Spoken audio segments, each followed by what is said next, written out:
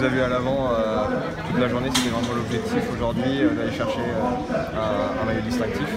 Ouais, maillot, bon, après il y a aussi les, secondes que j'ai essayé de faire en vue du chrono, donc voilà, c'est toujours ça de prix.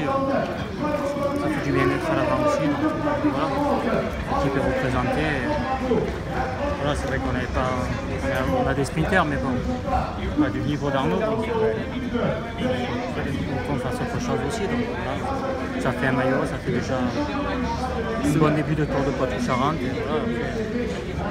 Voilà, on va essayer de récupérer un peu Ça va devenir un vrai objectif maintenant, ce, ce maillot? On verra, parce que le deuxième, je pense qu'il n'est pas loin, je pense que c'est vraiment un objectif.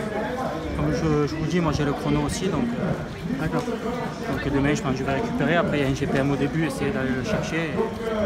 Et, on verra après par la suite qui c'est qui est échappé. Mais voilà, quelqu'un de l'équipe s'il peut le prendre aussi, voilà, ça sera bien. Donc, voilà. Essayer de le garder dans l'équipe, peu importe qui c'est. Satisfait de vos sensations aujourd'hui euh, tout au long de la course? Ouais, il faisait chaud, mais bon, ça va encore. Hein. Voilà, à l'avant, ça va. C'est une journée chaude avec un peu de vent quand même. Donc voilà, une bonne journée. merci beaucoup.